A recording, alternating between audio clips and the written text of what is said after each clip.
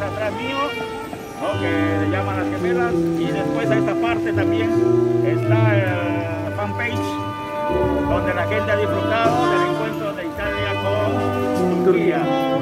Y la gente ha celebrado lo grande porque es el inicio de la Eurocopa